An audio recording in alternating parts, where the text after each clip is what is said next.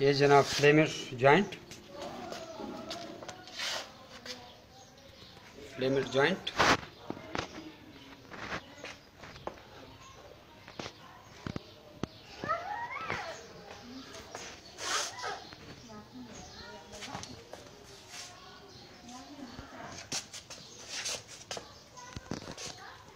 और ये जनाब ईमान न्यूजीलैंड वाइट